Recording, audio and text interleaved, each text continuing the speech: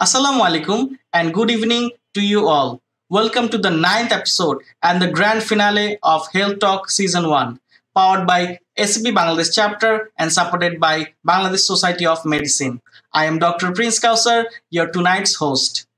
As the grand finale, today's topic is going to be very special topic of today's program is the hottest topic of the year and the person who are here with us are also very very special. So don't miss any part of today's program and invite your doctor friends or colleagues to join with you with the program. The speaker of today's program is an immensely renowned professor of our country. He is none other than professor Shoheal muhammad arafat sir. He is the chairman of the department of internal medicine bsmmu he will be discussing today on COVID-19 vaccine and update. As I already told, this is the most talked about topic of the time. As the chairperson, we have undoubtedly one of the best physician of our country and the person for whom this health talk program was made possible, Professor H.A.M. Nazmul Ahsan sir. He is the current governor of ACP Bangladesh chapter and head of the department and professor of medicine, Popular Medical College. We also have Muhammad Mahabubul Islam Majumder sir as the panelist with us. He is the head of the department and professor of medicine, Central Medical College and Hospital, Kumilla. We also have Professor MD Robed Amin sir as another panelist with us. He is the professor of medicine, Dhaka Medical College and secretary for research, Bangladesh Society of Medicine. Today's program will be moderated by our very own Dr. Fazle Rabbi Chowdhury sir. He is the Assistant Professor of Medicine, BSMMU. During the live session, you can ask topic-related question in the comment section. We shall try to answer them on the question and answer session, which will start right after the presentation. So without doing any further delay, let me hand over the session to Dr. Fazle Rabbi Chowdhury sir to moderate today's program. Dr. Fazle Rabbi Chowdhury sir. Thank you very much. Uh, thank you, Dr. Prince. Good evening, ladies and gentlemen. Uh, thank you very much to all. And I, at the beginning of this, before going to the session, I want to congratulate all of you because we are standing in the eve of our National Victory Day. Tomorrow is 16 December, and uh, let's celebrate and express our joy together uh, for this uh, for this victory, where uh, thousands and hundreds of lives uh, were sacrificed, and we are here today uh, to be as a strong and independent country and dominating in all sphere. Uh, this is uh, ACP American College of Physician Bangladesh chapter's consecutive ninth session. Uh, they call it Health Talk 9 and I'm very proud and privileged to moderate today's session. Today's topic is a very time demanding topic. We used to say it's a hot cake topic. Vaccine, vaccine, vaccine. Vaccine is everywhere and some people in the world are already uh, started getting the vaccine.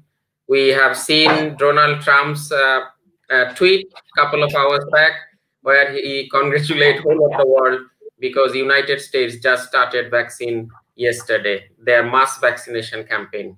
We also know that United Kingdom, um, uh, they have started their mass vaccination program on last Tuesday. And uh, subsequently, many countries are going to come in the row and uh, it's it's really a tremendous effort of the uh, uh, a tremendous contribution of the science where it's been proven that uh, unity and coming into a single umbrella what the scientists can do and how they are trying to bail out from uh, bail out us from this pandemic.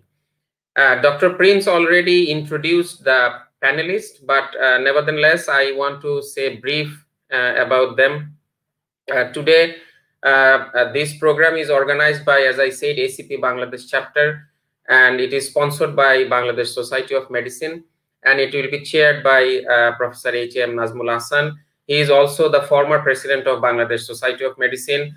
He was uh, actually teacher of the teachers. He uh, he was editor in chief of multiple renowned uh, journals of our country and he's been uh, he's been a very active and vibrant member of uh, Bangladesh College of Physician and Surgeon, currently serving as the professor of medicine, Popular Medical College.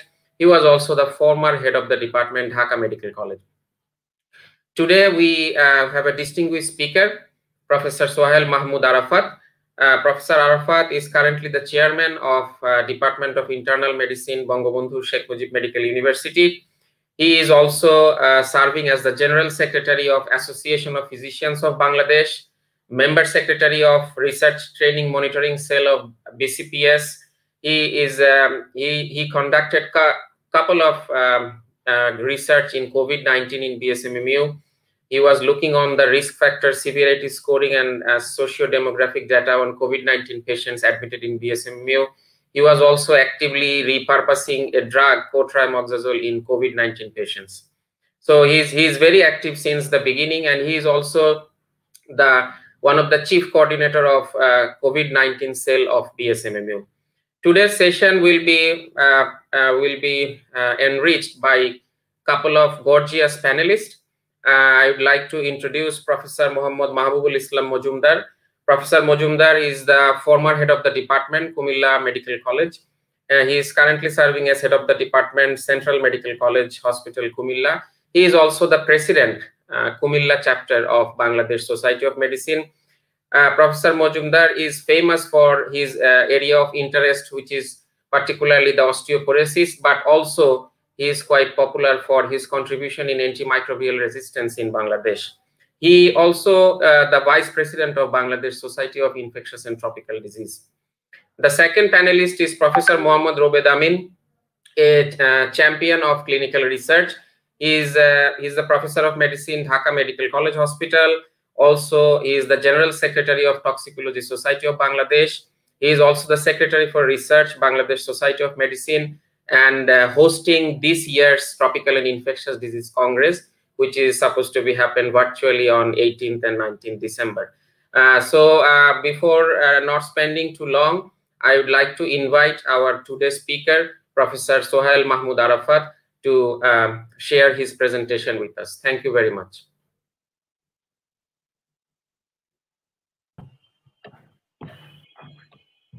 Uh, thank you, Professor Rabbi, uh, the moderator of today's session. Can you hear me? Yes, sir. Okay. Uh, on this uh, real uh, great occasion, I am very fortunate to be here in front of such a learned panelist. Uh, my heartfelt thanks and gratitude goes to Professor Nazmul Ahsan sir, the president of this Bangladesh chapter of the American College of Physicians. I am very much privileged for inviting me for give a talk on the COVID vaccines. Uh, also, my respected panelist, uh, Professor Mohammad Islam Majumder, my one of my mentors, and Professor Robed Amin, very good friend of mine. So hopefully we'll have a, a, a, a nice time with you guys. Unfortunately, I have some problem with my screen sharing. That means some dis, uh, I mean, this uh, coordination between screen sharing and my talk. Uh, anyway, may I request Mr. Prince to start the first slide?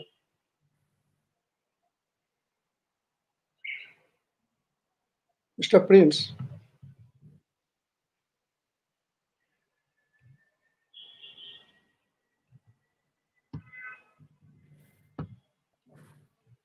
Prince.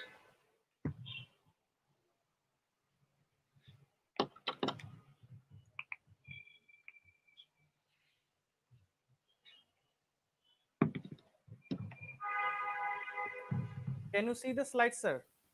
Can okay, thank you. Thank you. Yes, I am seeing, but uh, I think, uh, can you make it a slideshow like that, a little bit bigger? Yes, yes.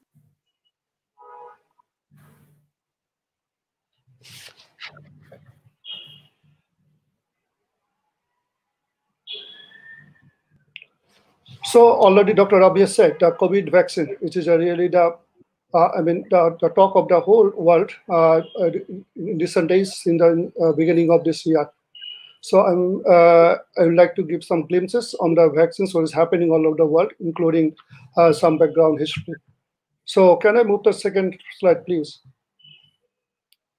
So the beginning of 2020, the whole world is jubilant at the night of celebration of 31st nights and welcoming the 2020 the, it may be New York, it can be Times Square or Sydney or even uh, Dubai. But we didn't apprehend something is going on the next couple of months That was a really bad year. Uh, uh I mean, uh, we are going through a uh, really a bad patch of life. we are fortunate, still we are surviving. If you look at the some data in the recent days, can you move next slide? The, next slide, please. And due to this uh, simple, tiny, microscopic, nanomicroscopic creature that has changed the whole life of the whole generation of living on this planet. So for this little creature, we are going to havoc on our lives, on our daily lives, and uh, our, our personal lives everywhere. If we see the data, can you move the next slide, please? Uh, if you look at the data like that, uh, we, for the recent COVID, uh, I mean, already we have lost so many precious life from our surroundings, whole over globes. Almost more than 72 million people have been suffered, and we have lost more than 1 million people. Not a, not the worst in Bangladesh. If you look around the data, till it started, that was around more than 4 lakhs people have been infected, and we have lost 700 precious lives. With the physicians are not escaped as well. We have lost many of our next slide. We have lost many of our friends and teachers, students. Till yesterday, we have lost more than hundreds of our fellow colleagues. May Allah bless all their souls with the peace in the Jannah. So we have to come around from this deadly virus. Next slide. It's not only life, it has uh, uh, uh, destroyed the economy and every sphere of life. Look at the GDP that is going down. There is stock market dipping down and all the things happening in last one year. Next slide, please. Also, a lot of uh, joblessness. Uh, lots of people lose their works, and even the flying flights are also getting scarcer day by day. Can you next next slide? There's also use dropping, stopping only the only one industry rising, that is the pharmaceuticals. They must be thankful to COVID because they're only survivors in this really bad global pandemic. Next slide. So we have to we we have to come back to a normal life. But how is possible? There's only one we can go back to a life that is acquiring herd immunity. According to WHO, also the public specialists like Azra Ghani working in Imperial College, they think that almost we have to be immune, at least 70% of the whole population need to be immune to be on the safe side to have a normal life back in the coming futures. Next slide, please. And how we can get this herd immunity? There's two ways. One can be direct infection, one can be vaccination. But causing the direct infection with such a deadly virus will cause loss of uh, loss of uh, deaths and uh, millions of deaths, and that is not acceptable. That's only way we can come back. That is a good vaccine. We need a vaccination if we can mix, immunize the majority of people the immunized vaccinated people can protect even a non-infected person. So we are we are really eagerly waiting and longing for a very good vaccine which can give back our previous life and the previous world. Next slide, please. So it's a good vaccine will be a game changer that will change our life back to normal. Next slide if we go back uh, to the past history of vaccine, you know, the vaccine which is we are really longing for, that has changed a lot of infection to be eradicated or to be less uh, number infection by causing the by giving the good vaccination. That was started in the 1721. That was variolation, but that was the perfect one that causes few loss of life. So there is outcry. Next time came the time of Jenner. Next slide, please. Then 18th century, the uh, renowned that our really the, the father of vaccinology, the Edward Jenner, who put a hypothesis that some people who have got infection with the cowpox, cowpox might be immune to the or less susceptible to the smallpox. So he proved this hypothesis. Next slide, please. By putting, next slide, please. The, by putting some, uh, injecting some, please, previous slide, please that uh, that uh, in fact uh, that inoculated some eight-year-old boy James Phipps with some pus from a cowpox lesion from a milkman Sarah Nelmes.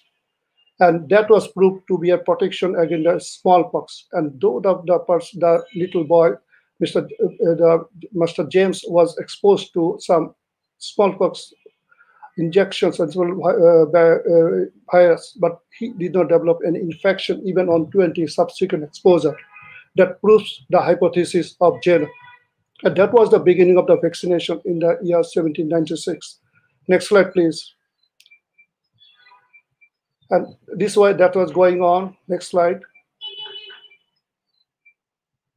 So from this cowpox, that is the pox of a cow, the name vaccination came. In Latin, we know the cow means vaxa means cow. And so that was coming from the cow. That was that's the reason behind that was called vaccine. So this process is called vaccination. So related to cow, that is the main uh, origin of the term of the vaccine from the vaxa, that Latin word standing for cow. Next slide, please.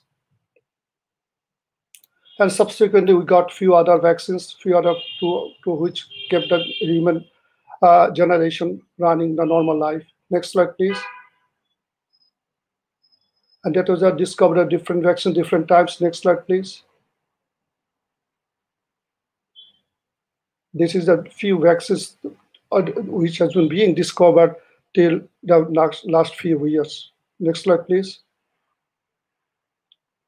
And we can see the efficacy of the vaccines. This is a dramatic, uh, dramatic uh, I mean, diagrammatic representation of uh, the vaccines causing a, what a beneficial uh, life to our public health, to our the world's our signal lives. If you look at the diphtheria vaccine, whooping cough vaccine, and measles vaccines, which was really deadly things, what was happening in the was causing great damage to the human lives.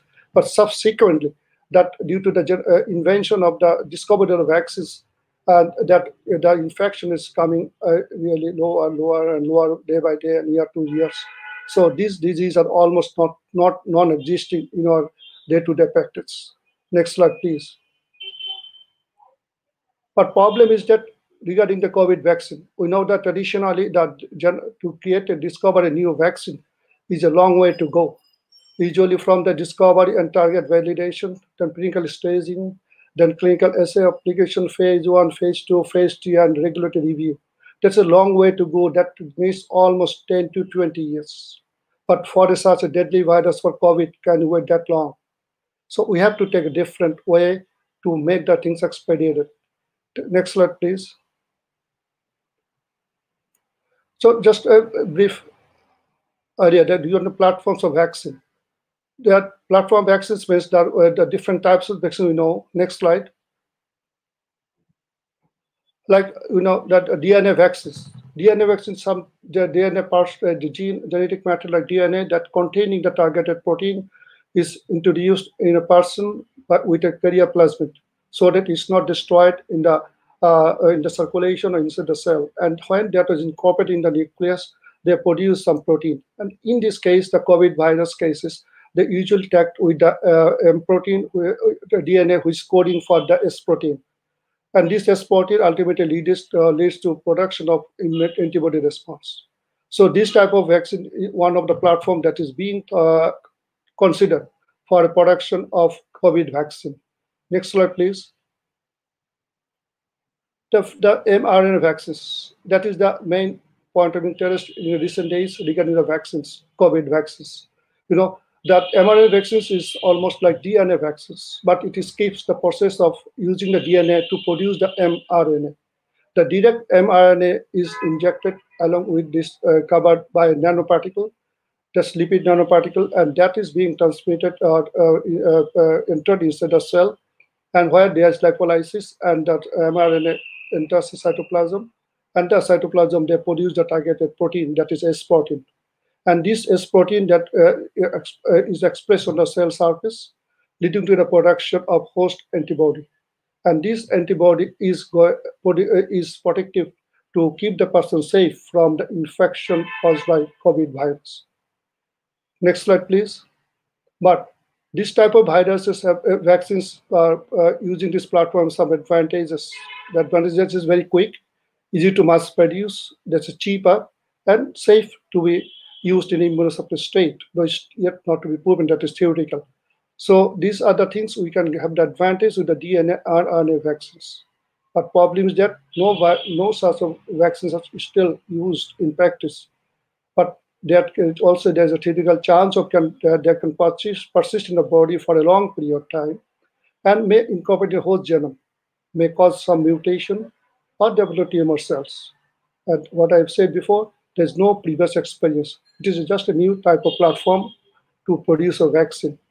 But many advantages is, is very quick. We can skip many steps, so we can have the vaccine in a short time with what we are getting really in a practical life. Next slide, please. As vectors. The vector vaccine is a sub uh, virus is used at vector, that which uh, is uh, uh along with the antigen that's pushed inside the uh, uh, body and that produces the antibody of the targeted targeting the S protein. So this is this vector vaccine that is also very widely used and recently used in the production of COVID vaccine. Next slide, please. That is same thing that is introduced cell-mediated immune response. Disadvantages this as this is vector, this is virus. So it cannot be given in immunosuppressed patient. It's a little bit cautious. Complicated to produce a required specialized facilities. And as this is a genetically modified organism, that can a potential risk to the environment.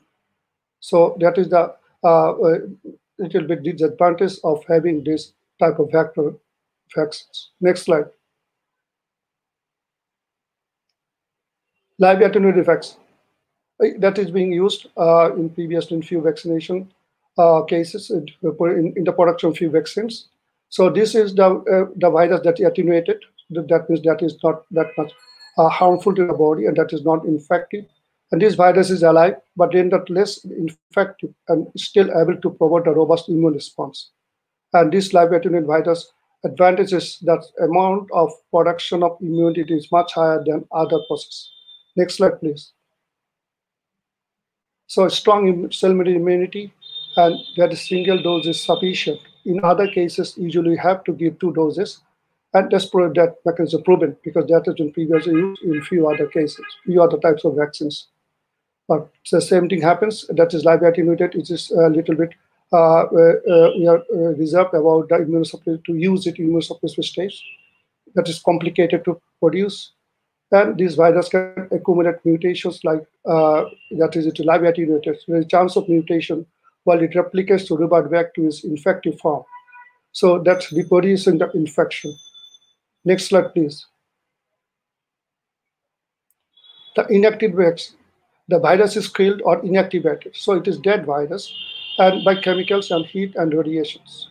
And this dead virus enters the cell and they produce uh, the antibody, but they can, the advantage is does not replicate like live attenuated vaccines, but produce a host uh, immune response. So this is also a good uh, platform to produce a, a, good amount of immunity. Next slide, please.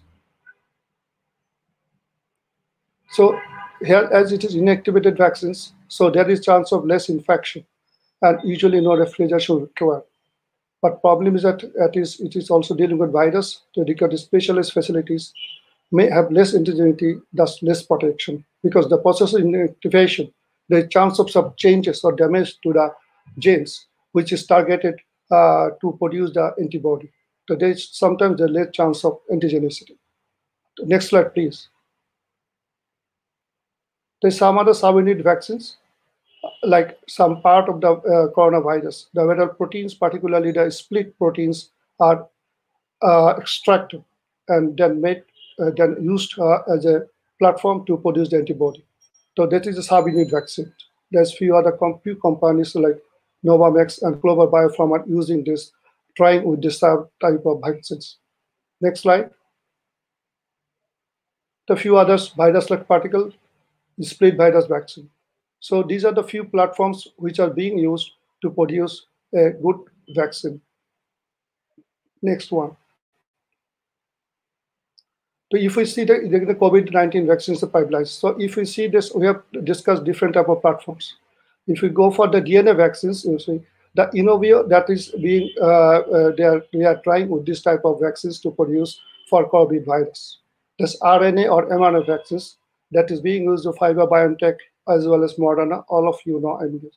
So this is uh, there are two types already uh, in uh, in the process of development, and one Pfizer is already in the market.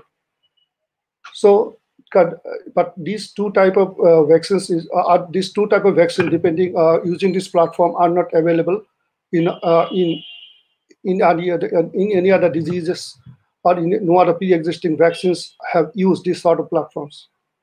There's viral vector vaccine. The what I've said that is the second one that is that used by AstraZeneca or Oxford AstraZeneca. I can see you know and uh, there's Russian Sputnik vaccine. They have used these viral vector vaccines. These are harmless virus vector that transport by the gene. But uh, in case of Ebola, Zika, and dengue, dengue, dengue vaccine, they have been using this viral vector vaccine.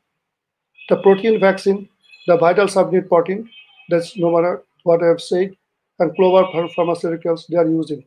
And these type of vaccines were being used in case of herpes zoster, hepatitis B, hepatitis uh, and herpes uh, HPV virus, and DPTs. And split vaccines, there is not there is not no, no company is going uh, to produce the vaccines for COVID using this platform. So we're going to discussion. But live attenuated vaccines, there's few Codagenix and Indian companies that Indian bio, uh, uh biotechs are using this uh, live attenuated vaccines. So these type of vaccines already were using in case of MMR, chickenpox, polio, and tuberculosis. And inactivated vaccines, the Sinovac, the Chinese the vaccine, which was uh, planning to do a uh, trial here, but unfortunately that didn't happen. That vaccine is using this inactivated vaccine. And polio is uh, also using this type of inactivated vaccine. So if we consider experiences, previous ones, Uh, none is in the market, but due to the rapid uh, production, uh, rapid, uh, I mean, uh, development of vaccines depending on the two platforms, the RNA vaccines are market available and viral vector vaccines that are very quick to be in the market quick to be in the practice. Thank you. Next slide. Next slide, please. So that is the summary. I'm not going to that. Next slide, please. So already we, all, all, of you know that uh, we have got in, in, the market, there are a few trials, including different vaccines. So we need some evidences really. Uh, we are just, uh, is it really working? Is it really keeping safe? it is really uh, have some efficacy. For these things, we need some evidences. For this reason, I'm going to few just slides depending on the recent evidences uh, regarding two or three of virus uh, vaccines. Next slide, please. If we look all the vaccines names like Sinovac, Sinopharm, this all they have got only the phase two trial. Among these, only four: the Oxford AstraZeneca, the uh, Russian one, though it's a little bit controversial because very uh, small sample size. The Moderna and Pfizer BioNTech, they have completed the phase two trial. So other uh, other uh, others vaccines, including Sinovac, uh, Chinese vaccines, Indian vaccines, and the DNA vaccines, which being uh, produced by the process on the production by Inovio, they have got they are not completed the trials. So we are uh, just uh, going uh, the Oxford and uh, the Pfizer vaccines. What really is uh, evidence we have uh, we have got from different few trials. Next slide, please. Next slide, please. These are a few parts of the world where they have done the study, the AstraZeneca and the big companies, but unfortunately, there is no study in Bangladesh, though there are few studies in India as well. Next slide, please. Next slide. Regarding the Pfizer, the BioNTech vaccines. Next slide, please. So there's uh, there's a few publications on the New England Journal of Medicine uh, regarding the safety and efficacy of the vaccine BNT162b2 mRNA COVID-19 vaccine. That vaccine that is already in the market. Uh, this vaccine, if we look, uh, if you look uh, in this slide, this first one is in a younger group. The these uh, two lines is younger. First, uh, I mean, uh, the bar chart is going for the uh, those one, and that is those two. So if we compare this these two groups, the lower groups are senior groups more than 55 years. So if you say if you look at the graphs about uh, bar charts, that you see that there is less there's less chance of adverse effects, the systemic effects as well local effects in the elderly groups, which is a little bit higher in the younger groups. So that means that we are, as we are appending that there is chance of more reactions or more, uh, uh, I mean, uh, uh, reactogenicity in the elderly group. That is, it is we are seeing from this uh, uh, graphs that is less likely to be in the elderly groups. Next slide, please. That is the sustainability of the antibodies and you can see irrespective of all ages the uh, after 100 microgram dose of mrna that produce high levels of binding and neutralizing antibodies that decline slightly over time that's expected but remain elevated in all participants even after three months after booster vaccination.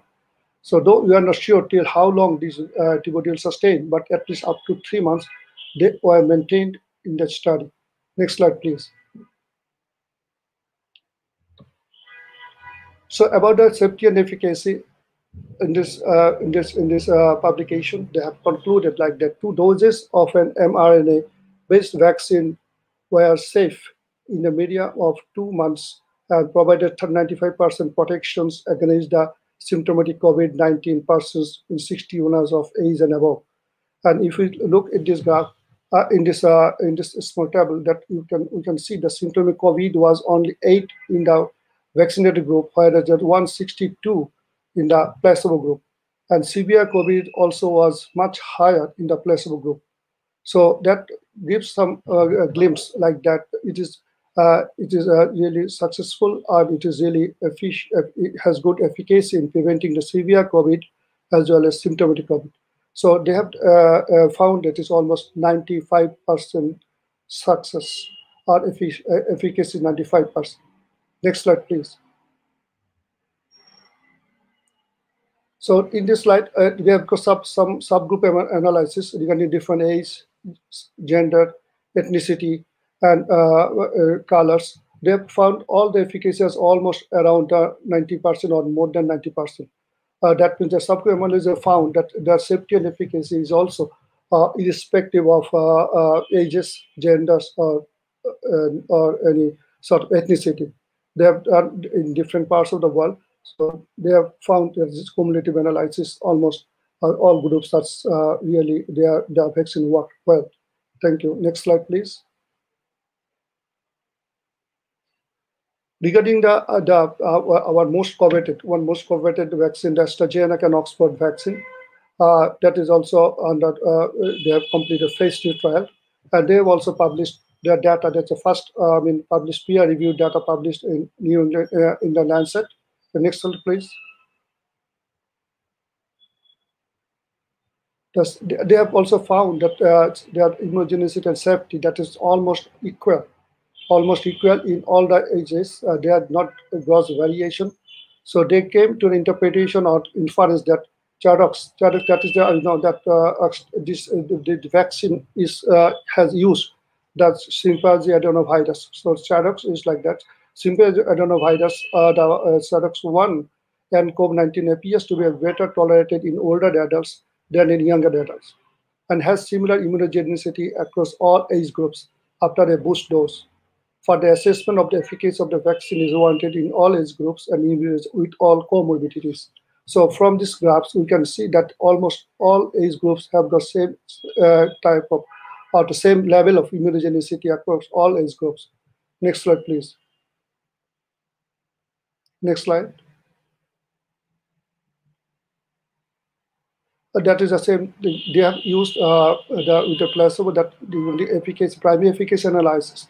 If you see that uh, uh, that using that they have used a placebo, the meningococcal ACWY conjugate vaccine. So if we compare that to higher efficacy in case of uh, the vaccinated groups. So there is uh, as well primary and secondary, both efficacy analysis was in favor of the vaccinated group. Next slide, please.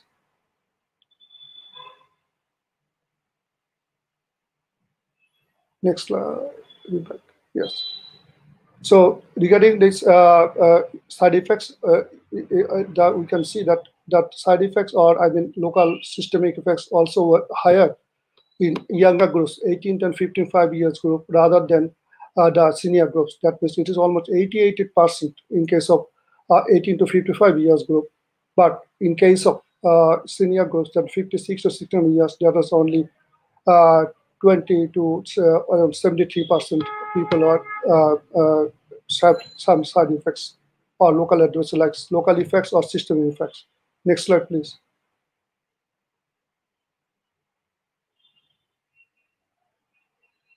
And if you go for the efficacy, you know uh, uh, uh, that in case of uh, I mean AstraZeneca Oxford vaccine, there is a problem with the dosing. The few doses was a standard dose as a low dose. The first dose was low dose, and second dose was booster dose was the standard dose. There's two groups. Uh, uh, there is some mistake due to the I mean the virus counting by spectrophotometer. So ultimately, they have divided the, samples into two groups so some groups had got low, do, uh, low dose. The initial dose was low, but boosting was a standard dose. And few, uh, the rest of the people have got the both the standard dose, the higher dose of uh, uh, uh, virus vaccines. So in that case, if you compare the standard to low dose, they have found that we have initially was given standard dose uh, and as well as next standard dose, both of the standard dose, they are, they found efficacy was 60%. But mistakenly the initial group who, who, who received the lower dose and the subsequent they got higher dose. In that case, the efficacy was around 90%. That was a golden error. I must say that's a golden arrow because this, uh, because of this error, uh, we found that vaccine have got more efficacy rather than standard doses. So that is the thing, and their average on the average, they found that efficacy is around 70%. So on the on the whole, the if we use the uh, lower dose with standard dose as a booster, they found it more efficient. That is almost 90%. Oh, next slide, please. Next slide. But unfortunately, we have got few things uh, to be unexplored till today. If we go and look at the different vaccines, they have not included any immunocompromised patients. If you look Moderna, Pfizer, AstraZeneca, Janssen, Sinopharm, and Sinovac, none have included immunocompromised patients. That is judicial because for just for a new vaccine, the immunocompromised patients are not usually targeted. Hopefully, in the coming uh, months, there will be we have got some data on the immunocompromised host. Next slide, please. The same things also for pregnant and breastfeeding women. All the studies have excluded the breastfeeding and pregnant women. Next slide, please. The, the adolescent children, they have also made almost all the studies have excluded uh, the adolescent children. So we are uh, still in the dark. That, that, that what will happen to these vulnerable groups, like elderly, extreme elderly persons, the comorbidities with the uh, immunocompromised patients and adolescent children, pregnant women, or lactating mothers. Next slide, please. So regarding the COVID vaccines, regarding the, their studies as well as the efficacy, if we just summarize in a single table uh, and doses they have proposed, the Pfizer BioNTech is 95% efficacy. That they have completed phase two trials and they require two doses at the interval of 21 days. Moderna and is 95% effective, but that is also phase two trial. That's we had completed. They have two doses. Also at the 28 days interval. Oxford AstraZeneca, they have uh, they have got uh, they have the range of uh, efficacy from 70 to 90 percent, and they also have completed phase two trial, and they have they also recommend two doses at 28 days interval. Sputnik, the Russian vaccine, uh, that uh, vaccine they claim that is 92 percent efficacy. They have completed phase three, they but they didn't have yet published, and that is very small sample size. They have uh, prescribed, they are giving the vaccine the two doses. That's 28 days interval. Bharat Biotech, that vaccine is 92% effic efficacy. Uh, but their phase two is ongoing, but their phase one two trial is not published. So we are not certain about their efficacy really. But they are also prescribing the two doses, that is 20 days, 28 days interval. So next slide, please. So that is the uh, schedule of Pfizer BioNTech. Next slide, please. But problem of all the all the vaccines already we are using in the market, the uh, Pfizer BioNTech vaccines that is being used in UK and few other countries, including USA, just today. So if this problem is that, they have to preserve in very cold storage and they have to be transported maintaining a very strong cold chain. That is the main logistic hindrance for the uh, wide use of these vaccines in different parts of the world, but this type of amenities, facilities might be scarce. Next slide, please. So after so long, uh, we have uh, saw few studies, few things, but still we are at the dark regarding few issues. What I've already touched. How long will the immunity last? Will the vaccines will be effective in elderly population? Will this can be used in pregnant women, maybe or in the children immunocompromised? What will be the long-term adverse effect? And will it will it really prevent a severe disease? So these questions are to be solved in coming days, coming months, maybe. Next slide, please.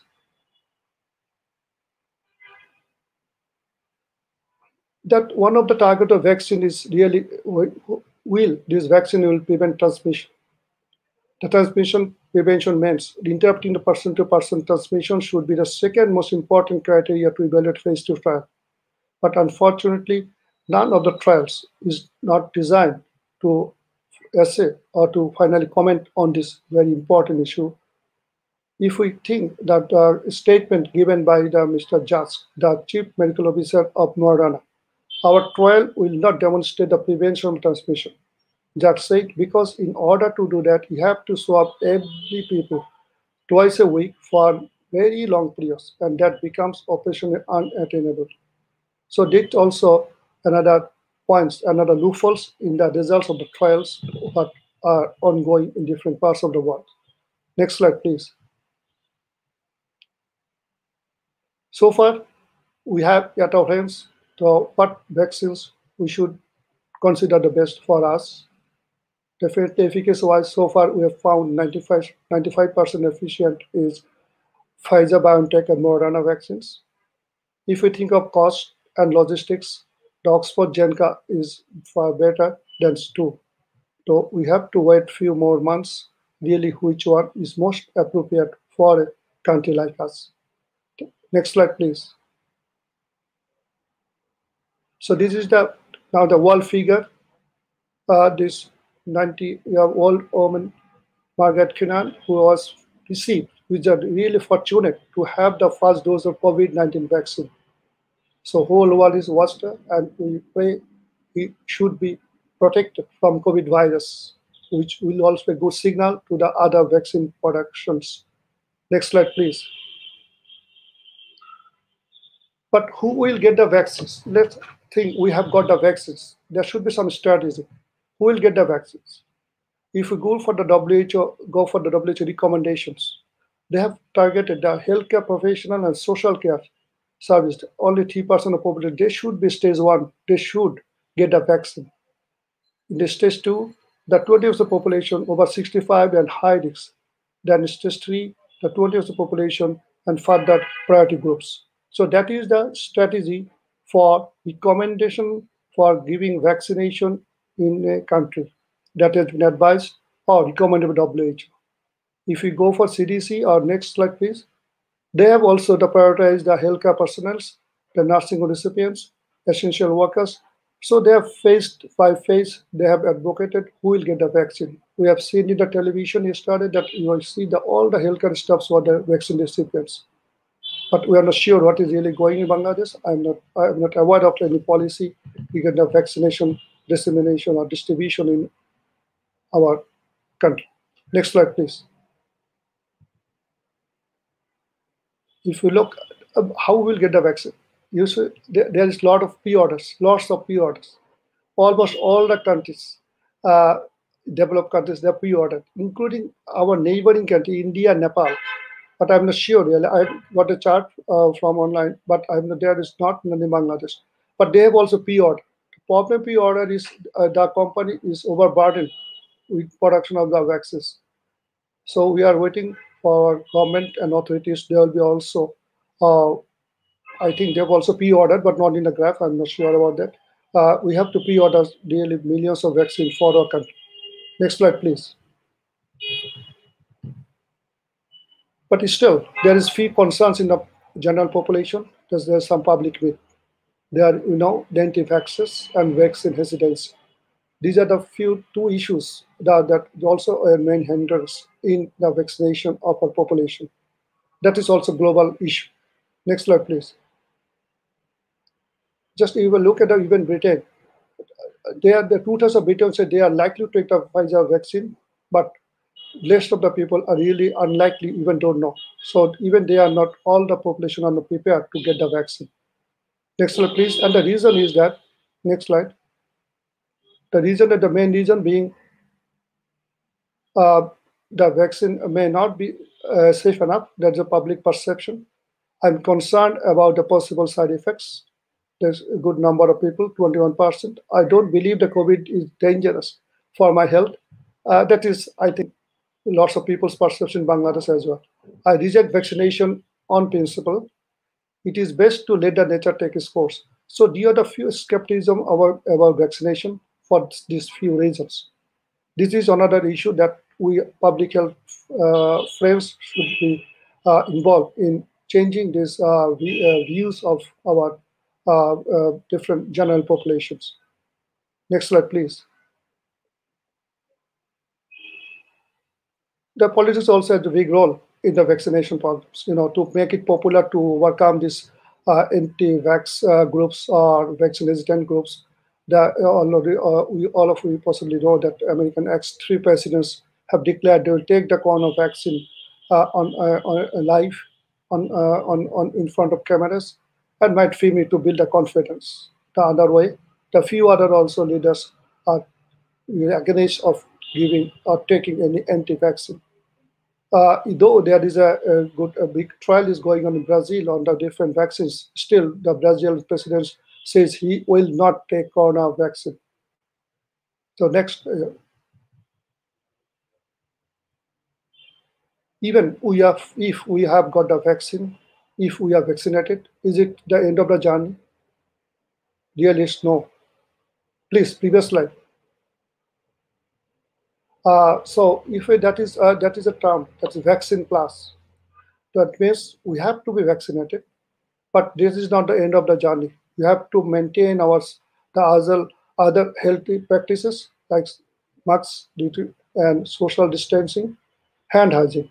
So we should not forget these three, three very vital uh, health issues to keep us safe from this epidemic and to get rid of this epidemic even I am vaccinated. Next slide, please. At the end, I must say not everybody, everybody is not losing. Are few sectors, as the pharma sectors, you see that is going higher and higher in the stock market. And this is the 8 December, you can see the Pfizer company just have a big leap in the share market just due to the first injection in UK.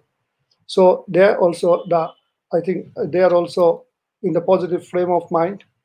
I hope. Next slide, please.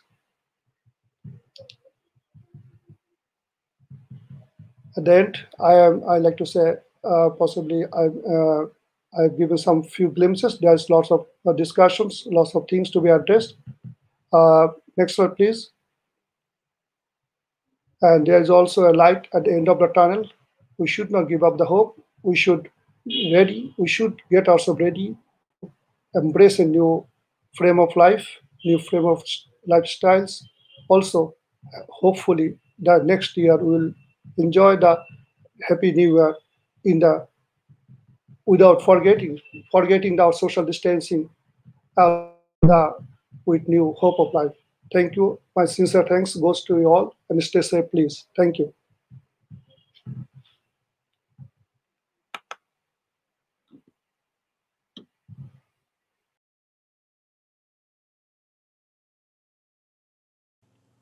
Thank you so much, sir, for your amazing presentation. Now it's time for the question and answer session. I can see the whole comment section flooded with questions. But as the time restrains, we can only select few of them. So I would like to request Dr. Fazlur Rabbi sir to start the question and answer session. Dr. Fazlur Rabbi sir. Thank you, Dr. Prince. Yes, as you have said, eh, there are floods, floods of question there. So I would like to pick some of the important questions. Uh, I would like to request uh, Professor Arafat to answer them and uh, the honorable uh, panelist, if you want to add anything, please uh, feel free to talk. Uh, the first question I would like to pick is is asked by Arfa Rahman Ava is, is bivalent oral vaccine immunization capable in reducing the impact of COVID-19?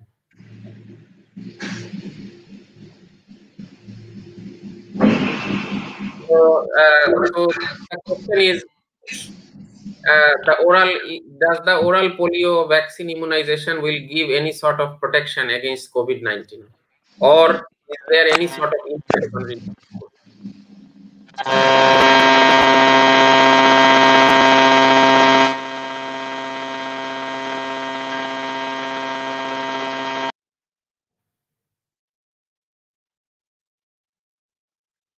So, uh, uh, as I can see that our panelist and speaker is.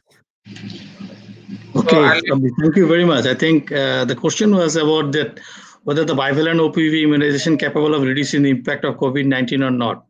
I think the answer is no. Say uh, the COVID-19 infection is a completely different virus than the oral polio virus. And the fact that a separate vaccine for a separate virus disease did not show previously any protection against the coronavirus. Another important pointer to note that if somebody is going to give a vaccine, either it is a OPV vaccine or flu vaccine or any kind of vaccine, and then plan to give a COVID-19 vaccine, there must be a duration of two weeks apart. So a two weeks apart must be there before selecting another vaccine. তাহলে sir একটু ঢোকেন sir sorry thank you sir thank you sir the next question i would like to take is uh, uh, Mohammad Joshimuddin, how DNA vaccine will be effective on RNA virus? Question answer? Yes, sir, please. Okay. Uh, uh, Dr. Joshimuddin, uh, thank you for your question. The question is the DNA. DNA is not that. DNA is particular part of the gene which contains the protein or uh, which is subjected to be developed a vaccine. So when that DNA goes inside the cell, goes in, inside the nucleus, and then produce some mRNA, according to the sequence that is contained in that particular part of DNA, that mRNA then transmit to cytoplasm, they started produce the targeted protein or antigen. So in that, that is not directly produ not producing the things, but taking the course of that protein, going inside the nucleus of the cell, then produce the part mRNA, you know, the messenger RNA, the main uh, uh, media of the proteins that trans transfer that transmits to the uh, cytoplasm, and there they produce the uh, targeted antigens. In this way, uh, the antigen produce antibody. That is the reason DNA. That is the way how DNA uh, uh, using the DNA platform produces the vaccines. Is it okay? Am I clear? Yes, sir. So, Mr. Joshim, basically this DNA is a synthetic DNA, which we call plasmid, containing the antigenic antigenic part of the uh, of the virus. So, this plasmid is uh, we know that the this synthetic part have high uh, efficacy to boost the uh, MHC class 1 and class 2 molecule. That is the CD4 and CD8 molecule. That's why it's, it's the synthetic portion. But the main uh, outcome will be the messenger RNA, which is the media. I would like to, many questions are regarding the safety and comparative safety and efficacy of the vaccine. But uh, Professor uh, Arafat nicely described them in their slide. The next question I would like to take that uh, Munadi Al Islam, Pfizer and UK NHS have issued warning for allergic persons. Uh, so, can disease like asthma can be a possible contraindication?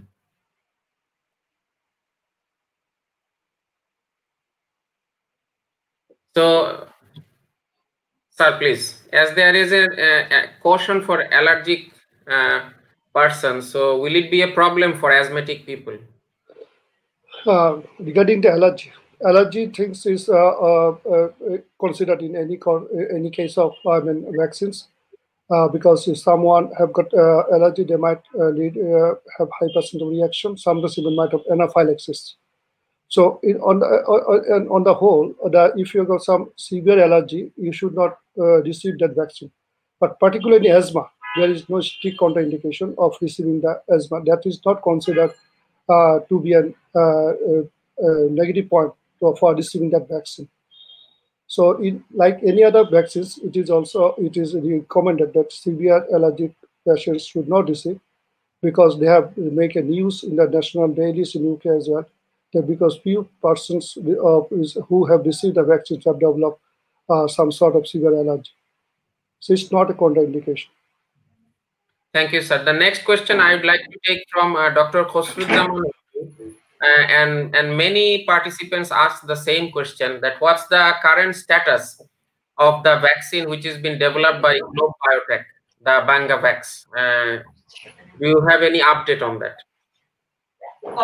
Uh, regarding uh, uh, regarding the Bangavax, uh, the GlobeTech vaccines, uh, they were planning after phase one trial and they are planning to phase three uh, trials, but um, but that is has agreement with us. So far, I know the ICDDR, but for some reason uh, that was not started, and uh, possibly that I'm not sure really the, what is the present status. I on maybe the panelist may give some answer or even Dr. Abdi can give the answer, latest status of the death vaccine. Yes, sir. Uh, thank you, sir. Uh, uh, does uh, any panelists want to contribute uh, with Professor Arafat regarding the update on Bangavax? I think as far the the Bangavax, uh, there was a first issue that they have tried their phase one trial in a small piece of rabbit rather than the specific mice or commonly the mammals that has been taken. This is one. But uh, that was a success at this story. They were planning to go for the phase two and three trial simultaneously. And they were actually planning for that. But uh, as far one, they have not started the phase three trial yet.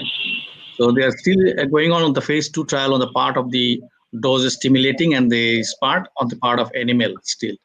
So I think in the future they may have a backup with someone in somewhere to start for the phase three large trial because it needs a very robust, very larger base of clinical trial that needed. So they have not started yet. So Globe Biotech is uh, looking for a compatible CRO to do their uh, phase two. They are still looking for it. We have heard that uh, the negotiation with ICDDRB has broken at some point. So they are still looking for uh, conducting the phase two and looking for a CRO to get the available permissions. Uh, the next question is very, very nice and good question. I think many participants wants to know that Farhana Tina, uh, we will we need booster dose for COVID vaccine after immunization? Should we still have to wear mask? Two very important and nice question. Do you need boosting? Do you still need to wear mask? Please, sir. Okay, Dr. Tina, uh, thank you. Uh, regarding the booster dose, yes, uh, uh there's uh, we have got a few vaccines already. Have got two doses, basis, and one is one dose. But regarding the long term, long term booster dose, what we usually give something like flu vax, something like that. Do you give that? Do you really need that? That depends on the long term study. Really, we are not sure how long this antibody will sustain in our blood after getting some effective vaccination. It can be six months, it can be years, it may be longer. So I think I'm not yet enough to comment on really we need a booster dose. But depending on the different types of vaccines, usually get two doses, especially the mRNA-based vaccines. Uh, usually two doses given. Vector vaccines, there are two doses. One is uh, at, at, an interval of uh, uh 21 to 28 days. So these are the things we give, but long-term booster usually still we are not sure about. Regarding the marks, yes, uh, even after vaccination, we should not up the mask. You should not throw a mask because mask is uh, important for two reasons. Number one, that we're not sure what I've said, how long this immunity will persist. So uh, um, someone might be uh, infected second time. Number two, it does not prevent asymptomatic infection. It's not proven yet. So regarding asymptomatic infection, you might have got a source of the infection. So if you don't wear masks, if you are subclinically infected, you might spread the uh, viruses to some other persons. Also, my recommendation is for my it's, general recommendation is that therefore self safety as well as to prevent the spread of uh, virus, of course, after getting the vaccination, we have to wear the masks again. Thank you. So, uh, because of the time, we have already crossed one hour. I would like to take the last question, which is related to the adverse effect, because many people probably in a stage of panic. So, I would like to take the question of uh, Dr. Noshin Tabassum. Uh, would you please shed some light on the severe adverse effect encountered in the vaccine trial? Say, for example, the transverse myelitis case happened in UK uh, uh, so please, sir, if you make an overall comment on that, the adverse effect, the potential uh, side effects of the vaccine. Uh, Dr. Tabassum, yes. Uh, regarding the adverse effects, there's mild, moderate, severe, grade 4. So there's different adverse effects. You have said that about the transverse myelitis specifically. Regarding the transverse myelitis, yes, uh, there is few, three cases of transverse myelitis in the AstraZeneca trial and among this, uh, one uh, one terminology was the that was the deactivation of some sort of unexplored previous multiple sclerosis. So that was not due to drugs. Another Thomas cases that was reviewed by neuro, uh, neutral neurological review was done. That Thomas also was not related with the vaccine. And third one, that uh, group that is not uh, uh, sure is also that is not, I mean, unblinded group. So that is Mark's group. So that is not sure. So regarding the transverse myelitis, it is still uh, not uh, directly related with the vaccines. But there are a few cases uh, regarding the Bell's palsy, Bell's palsy in the trial groups. But that is also found that that is a little bit higher but if we compare, if they have compared the normal uh, rate of uh, Bell's palsy, normal uh, the prevalence of uh, uh, Bell's palsy during this time, incidence Bell's palsy, that's almost equal. So regarding this sort of transverse myelitis, still it's not we are not at a point that uh, that causes that is being caused by the vaccine. So that was the inference was given by that study group. But we have to wait really what sort of serious reactions happens in the coming days. Thank you. Thank you, sir. So, so uh, the notion, uh, basically, what uh, what the issue is, it's still not a warning bell sign. We we know that uh, even we, the time and tested vaccine, flu vaccine, there is always a chance of one in every million case uh, to have a serious adverse reaction. So the trials is not even close to that. So still, it is not a uh, issue of warning. So I would like to uh, close the question answer session here. I at this stage I would like to go to the panelist. I will go to Professor Mohammad Robed Amin for uh, part with a question. Uh, the last question of today's session asked by Dr. Pichan that should I get the vaccine if I have already COVID-19 positive or if I am already a COVID survivor, should I get this vaccine? please sir you, you will start to answer with this question and put your comments on overall comments on today's uh, session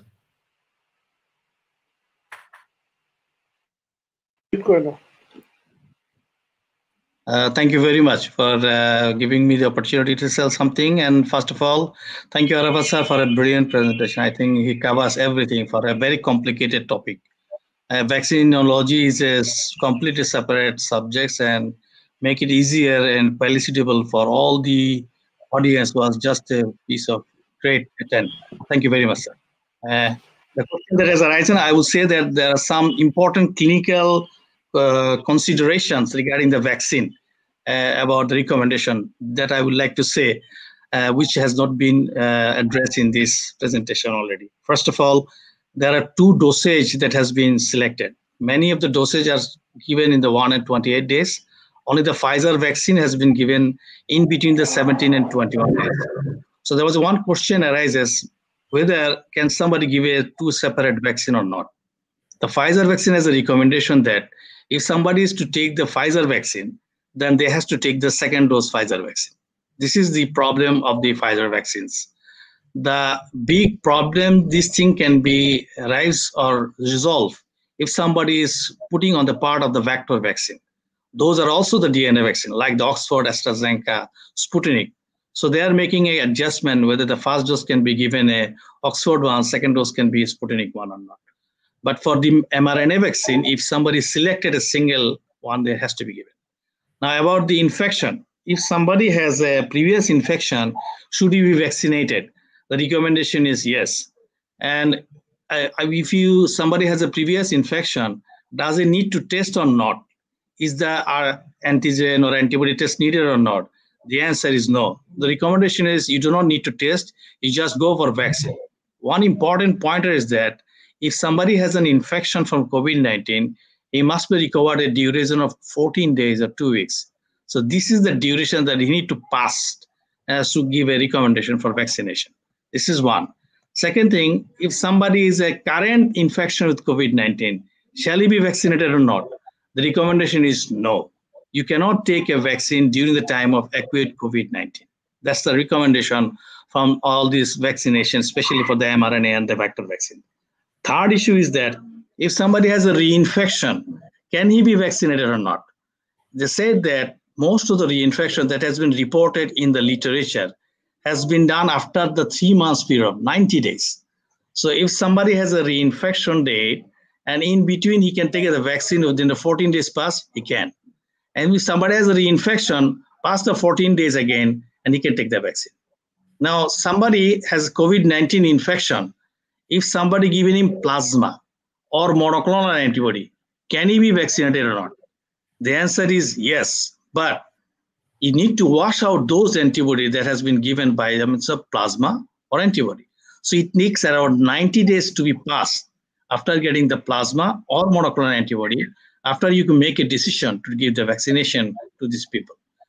What issue, if somebody is having a vaccination, uh, can he uh, go for a drive or go for a, yeah, does he need to test or not? I mean, is the test going to be affected by vaccination or not?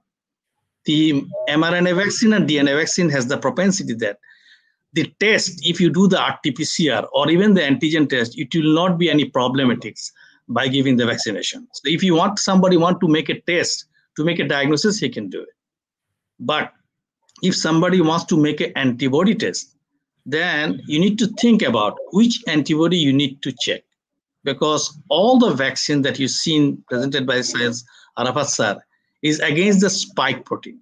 So if you make an antibody against the spike protein and see that in the blood, that will not give you idea whether it is vaccinated or it is infection. So the antibody test need to be done is the anti-nucleoprotein antibody.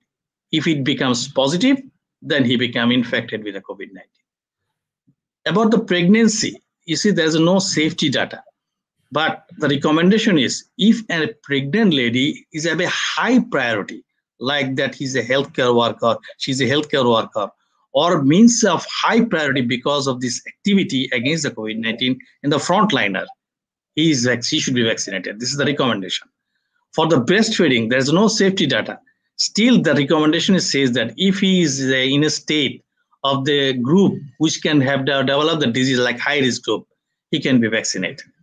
So these are the few recommendations that has been given as a clinical consideration point uh, on the vaccine issue that uh, has been very highlighted in the clinical consideration ACIP that I like to share with all of you because these are the few questions that came up uh, in our mind. Another point is that uh, what should be the upcoming challenge for vaccination schedule and uh, how long the vaccine is going to protect. So what I like to mention that against many of the virus like measles, mumps, and others, this gives a very robust immunity.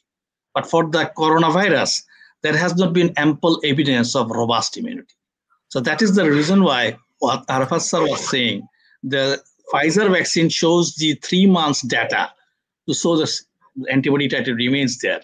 But what will happen after that? Nobody is sure.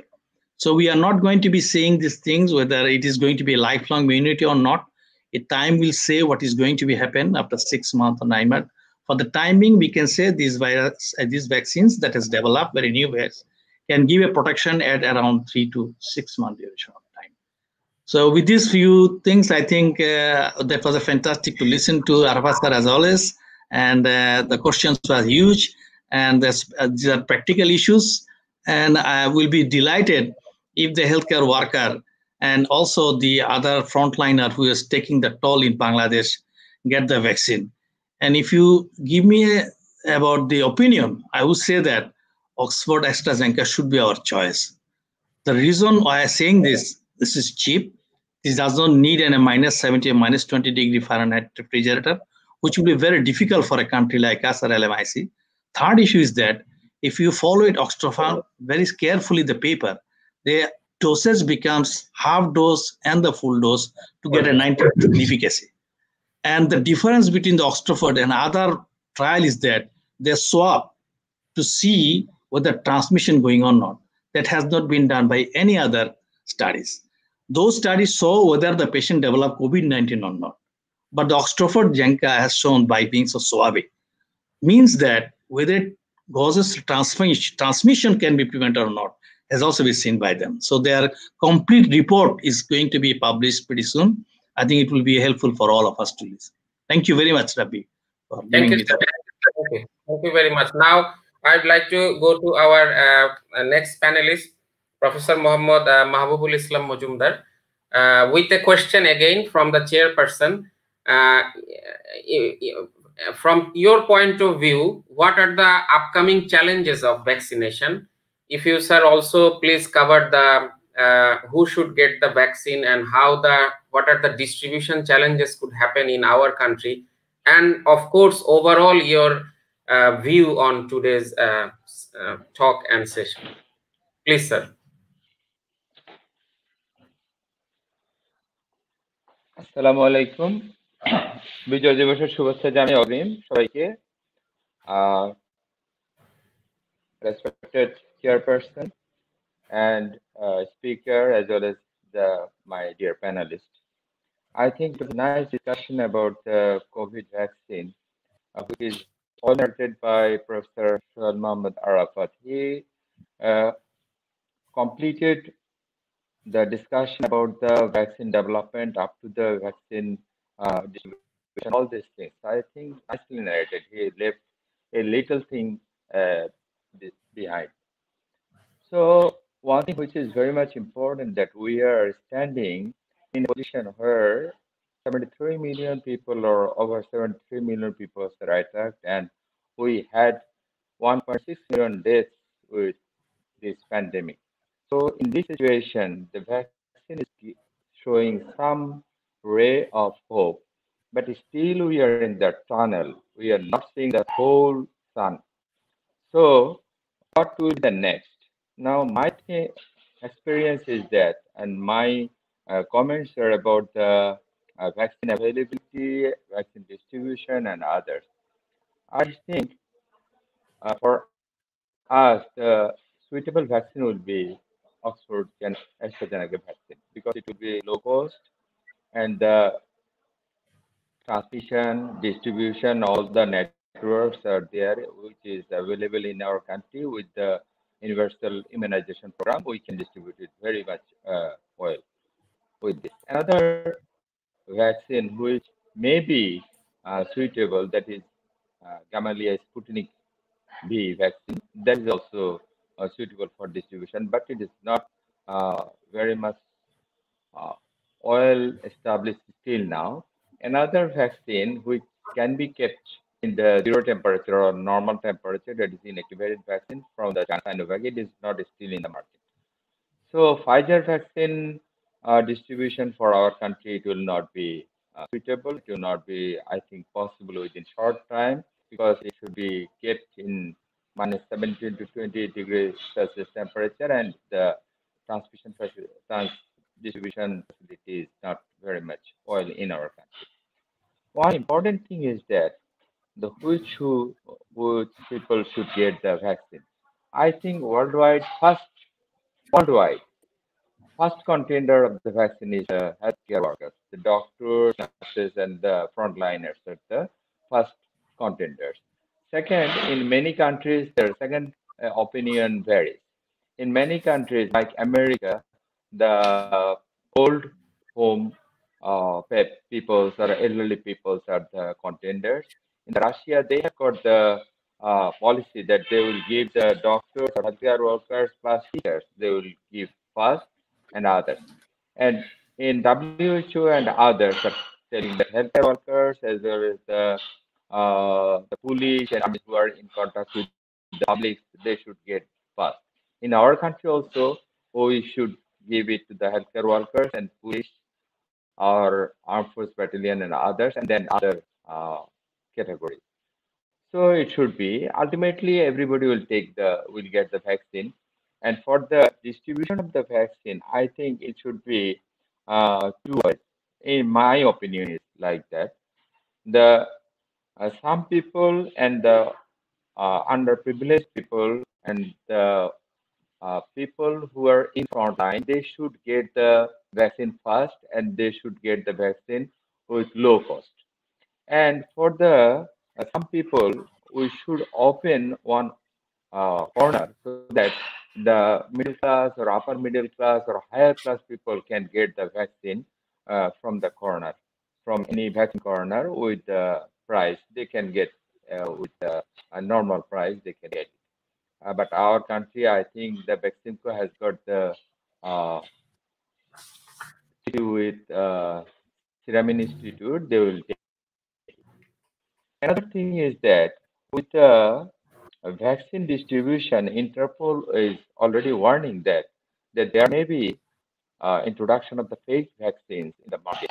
With the introduction of the multiple vaccine uh, in throughout the whole world. Because the Pfizer is uh, already on the field and the Oxford uh, AstraZeneca will be and even uh, in the next time that Gamaleya vaccine, Sinopharm, Sinovac, all these vaccine will come together. And they will be in the market in the throughout the whole world market.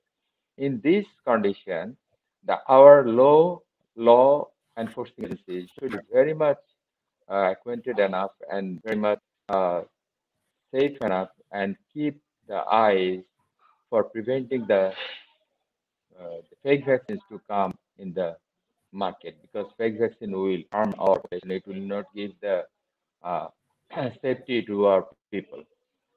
Another thing is that the all the peoples like America, only 60% people are eager to take the vaccine. In our country also, some of the peoples are not very much eager to take the vaccine, but we are very much successful in giving the child immunization in our country. It is about 90% or more than 90%, which is one of the example in the uh, throughout the whole world. So we can motivate our people throughout the media, throughout, the, throughout our TV, newspaper, and others, and to encourage the people to take the vaccine so that they are they may be immunized. And about the vaccine efficacy, a lot of things are told by the speaker as well as Professor Robed Amin about the efficacy how much it will be efficacious in the long run because a vaccine will take uh, 10 years or more than 10 years to have their establishment. But these vaccines come within one year. So it needs a long time to show their efficacy as their side effects also. So I think uh, with all these things, I want to conclude uh, my part that we should have a distribution system about the uh, vaccine. We should have multiple uh, vents or multiple uh, corners for the vaccine distribution. We should look uh, for the uh, prevention of the fake vaccines in our country so that it will not be in our country to destroy our people's health. And ultimate and after all, we should get the vaccine as early as possible in our country so that our people will be uh, safe from COVID-19. So thank you very much for the nice discussion from Shoheal Mahmud Arafat and from nice discussion from uh, Professor Robed Amin also. Thank you very much. Thank you very much, sir. So I think that take home message for us is uh, to achieve the herd immunity, you have to vaccinate at least 65 to 70% of the population, which is not possible within a year or so because the distribution will come by lot by lot. So, and uh, we know that it's in the trial, it's showing 90% efficacy, but we really don't know what will be the remaining efficacy when you will try it on different gender, different ethnic group, on different age group. So, uh, so the ultimate solution is mask, which today's speaker and other panelists have uh, emphasized. And we have to keep in mind that vaccine is not only for individual protection, it's actually for the community protection. So you will get the ultimate benefit of vaccine when you can vaccinate a certain number of people in the community, especially for any viral infections. I would like to um, uh, now move to the last segment of our session. Uh, I would like to hand over uh, to this session to the chairperson, the governor of ACP uh, Bangladesh chapter, Professor H.A.M. Nazmul Ahsan sir, uh, to have his remarks and also move on to uh, conclusion of uh, today's webinar. Thank you very much, sir. Assalamu alaikum. Thank you, Dr. Rabbi. Dr. Rabbi, am I audible? Yes, sir. at first, I want to congratulate uh, Professor Shoheal Mahmud Arafat for his wonderful presentation on this topic. For the last couple of months, we are arranging some topics of current interest, but at this moment, I think uh, vaccine is the hottest topic, and everyone is eagerly waiting to know different aspects of this COVID-19 vaccine. Uh, but a tiny virus within a period of 12 months, it has overturned the whole world. It has changed the social, cultural, and economic condition of the whole world. And at this moment, 7 to 8 billion people of the whole world is eagerly and desperately looking for to rescue to get rescue from this uh, problem and they are eagerly waiting desperately to return back to pre-covid era and vaccine is thought to be one of the important uh, aspect by which it is possible to get rescue from this uh, this uh, this COVID uh, pandemic. Uh, Professor Shoheal Mahmud Arafat, he has tried to develop an overview of COVID-19 vaccine from its development to up to the current status. And all three uh, learned panel, panelists. All of them are medical educa- educationists. On a, they are renowned physicians. They are researchers of this country. All them, I am nice to see all the four renowned physicians and research research uh, clinical researchers in in the same platform and it is he has rightly said that possibly COVID-19 vaccine is not uh, totally will be able to rescue the uh, humankind from this pandemic. And this vaccine plus period has to continue for certain months or years, like masks, social distancing, hand hygiene, and also uh, testing and tracing we human beings are to continue this period, this for certain period. Uh, uh, I want to congratulate again uh, Professor Shoheal Mahmud Arafat and all these three learned panelists for their excellent uh, contribution in on this topic. Uh, dear audience and listeners, for the last couple of months, we have arranged this program mainly for young physicians for the residents and particularly postgraduate trainee who are going to appear in the postgraduate examinations in the coming months.